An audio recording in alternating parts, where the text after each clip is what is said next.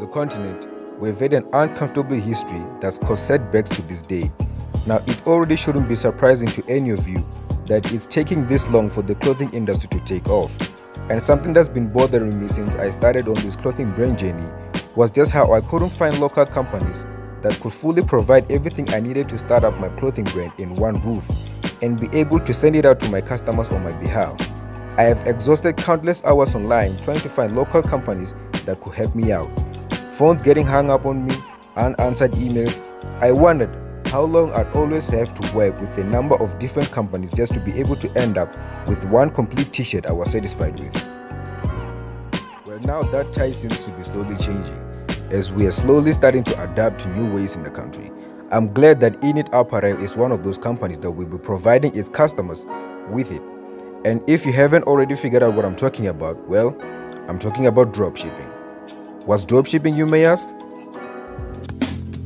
So, in the least amount of words possible, dropshipping is basically a risk free way to sell something and make money.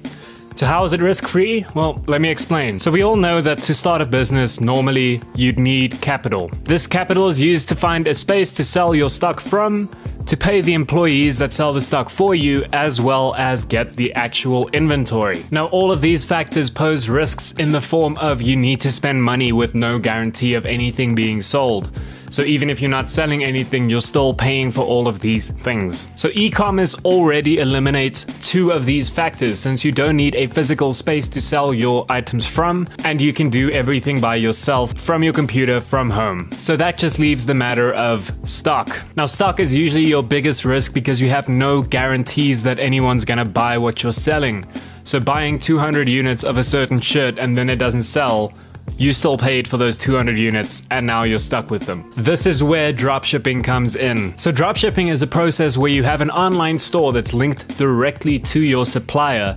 So, whenever someone buys something off the online store, that stock is then pulled, the shirt is printed, and it's sent straight to your customer without you having to place an order or do anything. So, this means that you only have to focus on setting up your online store, building your brand, and marketing your products.